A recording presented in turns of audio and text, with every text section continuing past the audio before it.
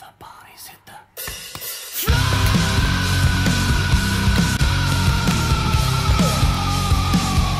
Dia 22 de novembro, todos os caminhos vão dar ao Cinema São Jorge. Às 22 horas, Rui Sinel de Cortes apresenta o seu solo de stand-up comedy Punchliner. E à meia-noite, juntam-se a mim no palco Felipe Homem Fonseca e Vasco Duarte com os Inocentes.